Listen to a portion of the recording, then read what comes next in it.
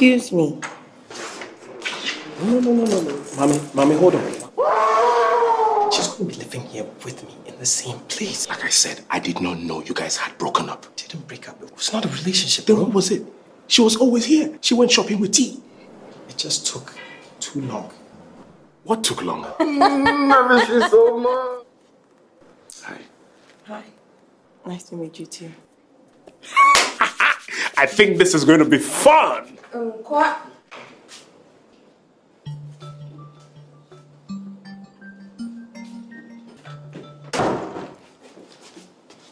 Did you see Alex eyeing her?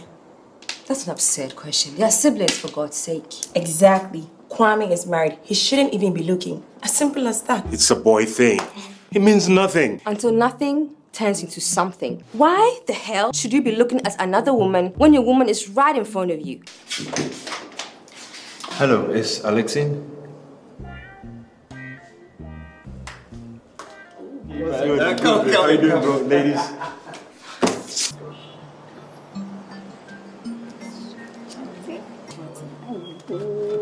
I'm not dating him.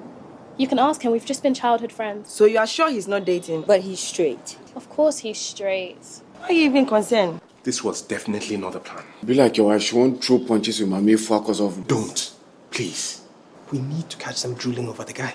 That's my wife out there about to throw punches over. Guys, I can't believe you did such a thing. That's such a childish prank, Kwame. We are not all the same.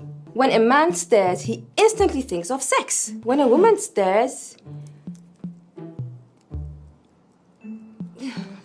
um, It's for the decor. Like a beautiful piece of furniture.